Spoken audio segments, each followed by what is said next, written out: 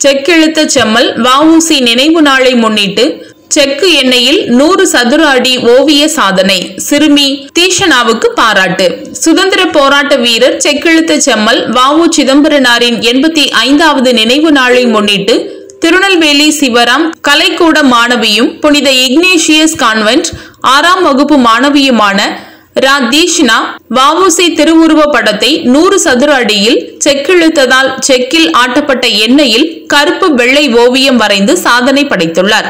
இந்த ஓவியத்தை ஒரு மணி நேரத்தில் மாணவி வரைந்து இந்த சாதனையை படைத்துள்ளார்.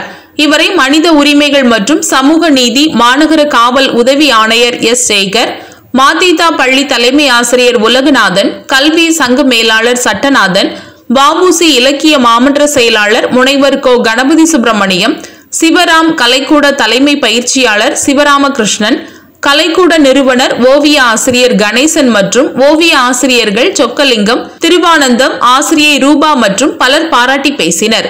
சாதனை மாணவி ரா தீஷ்ணாவின் பெற்றோர்களான ராஜசேகர் ஜனனியையும் அனைவரும் பாராட்டினர்.